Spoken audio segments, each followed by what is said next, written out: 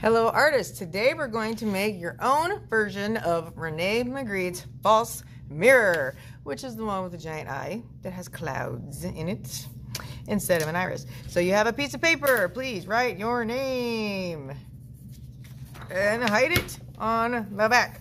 Then I have a stencil to make your life so much easier. Your paper needs to be laying horizontally. We're going to take this eye stencil and trace it. Then we need to add some extra details. So over here on the curved end, we're going to put a curve like so.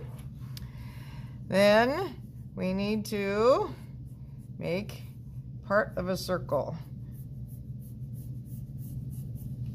If you need to turn your paper, that is fine.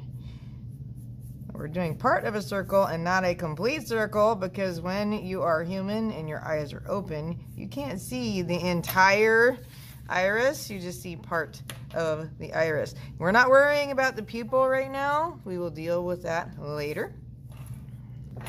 Then we're going to show a little ridge. So we're just copying this line along the bottom of the eye. And gonna do the same thing on the, along the top, but this one's gonna be a little bigger. All right, we now have an eye. Yes, they're all gonna look a little bit alike right now. I'm choosing normal skin color for mine. So I've got chalk. If you need to, we can get scrap and test. That definitely looks like a very light peachy color. There we go. That's better, slightly orange. Uh, ooh, that's better still. Okay, we're going to take the chalk, leaving the eye alone. Going to take the chalk and make all of the skin covered in chalk. I'm not knocking off any of the dust yet. I'm going to need that dust.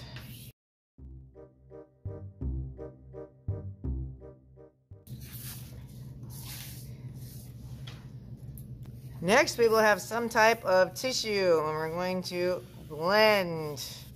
I'm keeping control, following the line very carefully.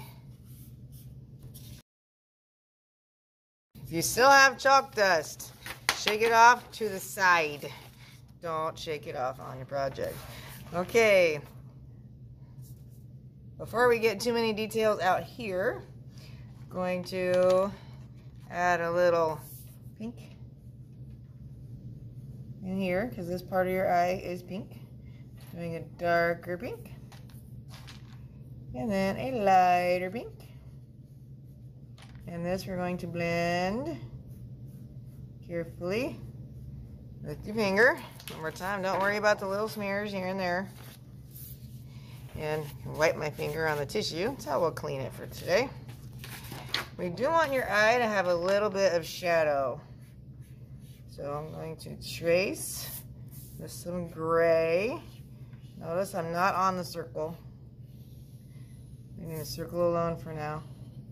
Tracing with some gray on the outside edges. And blend that with my finger. I'm following the line when I blend.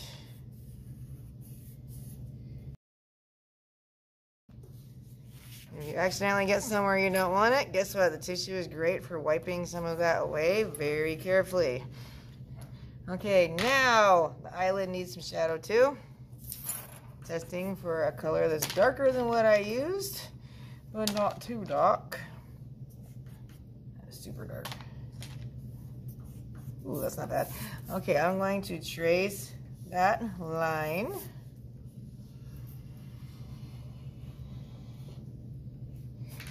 Follow it with your finger.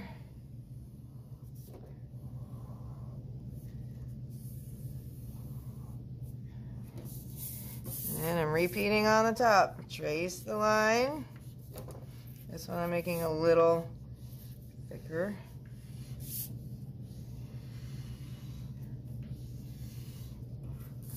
And follow with your finger.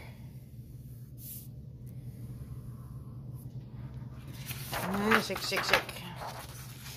We need scissors. Probably not what you were expecting.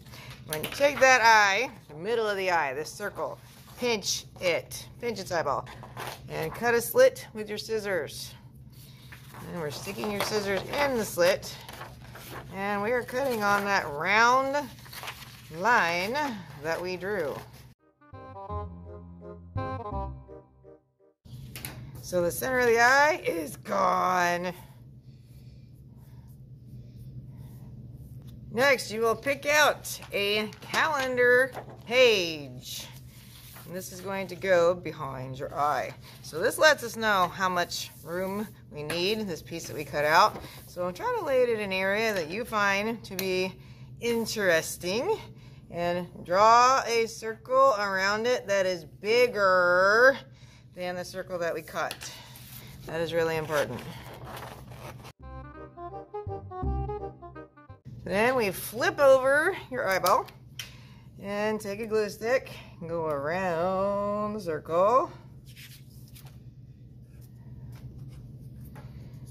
And glue this on. Make sure it covers the hole. Give it a nice massage. So I have this magnificent mountain.